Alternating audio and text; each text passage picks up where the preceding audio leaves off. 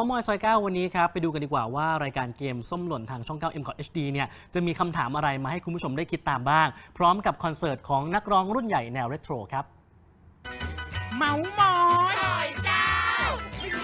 หอยคือแบบไม่อยากเมาอะ แหม่มปุ้มสาวสาวสาวถ่วงแม่เมาส์แม่แดงและอ้วนวารุณีบุกมาถึงสายเก้าชวนแฟนๆ ไปฟินกับเทศกาลดนตรีเรโทรที่ใหญ่ที่สุดในเมืองไทย กับ Yesterday Once More Retro Music Festival ครั้งที่ 2 พบกับศิลปินแนวเรโทรตัวจริงกว่า 50 ชีวิต อาทิวงนูโวเดอะพาเลซเบิร์ดกะฮาร์ทต้นสุชาติ และเท่ห์อุเทน รวมทั้งสุรินทรานิยากรและอีกเพียบ เสาร์ที่ 26 ธันวาคมนี้ บ่าย 3 โมงยันเที่ยงคืนไบเทคบางนา แฟนเพลงรุ่นเดิมพลาดไม่ได้ใช่ไหมคะ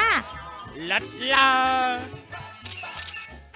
หลังปล่อยซิงเกิลออกมาให้แฟนๆได้ฟังกันแล้ว 2 เพลง ล่าสุดคิด n นปเปอร์สวงดนตรีแนวอิเล็กทรอนิกส์ป๊อปแถวหน้าของเมืองไทย ก็แวะมาแนะนำซิงเกิลที่ 3 กับเพลงหยุด เพลงเศร้าที่บอกเล่าถึงความรู้สึกทรมานในการหักห้ามใจ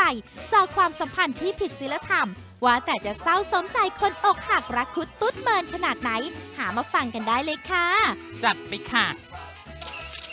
ส่วนรายการที่มีแต่กองแช่งไม่มีกองเชียร์เกมส้มหล่นวันนี้ ได้แขกรับเชิญฝีปากไม่ธรรมดา ตุ๊ยตุ่ยพุทธชาด ดีเจโป้งและดีเจมาตูมาวัดกึ๋นกับคำถามที่ว่า คนไทยนิยมใช้สมาร์ทโฟนถ่ายภาพอะไรมากกว่ากัน ถ้าอยากรู้คำตอบและรู้ว่าตัวเองเป็นกับเขาด้วยหรือเปล่าต้องติดตาม2ทุ่มครึ่งคืนนี้ ทางช่อง9 m c o t HD นะจ๊ะ